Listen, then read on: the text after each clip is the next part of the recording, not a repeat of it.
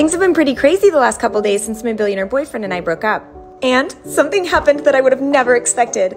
William asked me on a date tonight. We've been talking a lot the last day or so, and he says that he really wants to see me. William told me he loved staying with his therapist, Samantha, because she's been helping him get in touch with all his feelings. And I know he's not lying because yesterday he accidentally texted me, I love you, Samantha. He apologized for the mistake and explained to me that the text wasn't romantic. He was just thanking Samantha for all her hard work. So even though I have a sprained ankle, I'm working out to make sure I look amazing for him. And I did a couple hours of red light just to make sure my skin is glowing. I haven't seen William since the breakup, so I'm starting to get super nervous. I don't know why, because William's been so nice to me the last couple of days. He even had his assistant drop off this Burberry coat for me. It's so cute.